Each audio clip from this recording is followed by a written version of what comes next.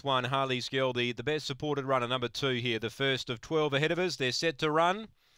Welcome, everyone. Angle Park Greyhound Racing about to begin. They're set racing. Harley's Girl second away. Speeds up now. The inside Heckle Me led.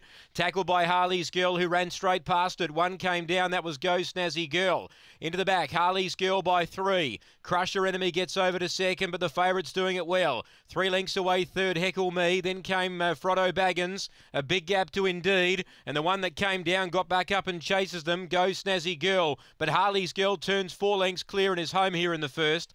Uh, Crusher Enemy ran to second, but Harley's Girl defeats Crusher Enemy. Third, Frodo Baggins. Fourth is Heckle Me. A gap then to Indeed. And last in, the good news is Go Snazzy Girl jumped up and chased them in uh, to the catching pen. The time here around 30 seconds even for race one. So Harley's Girl, number two for Tony Rasmussen. It was pretty painless in the end if you took the shorts.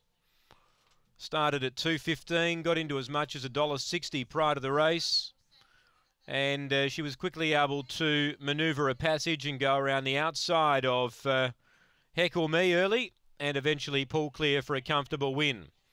Harley's Girl, the winner. Seven is second, Crusher Enemy. Number eight, third, Frodo Baggins. And number one, fourth, Heckle Me. 446 the early sectional. 30.04 the time.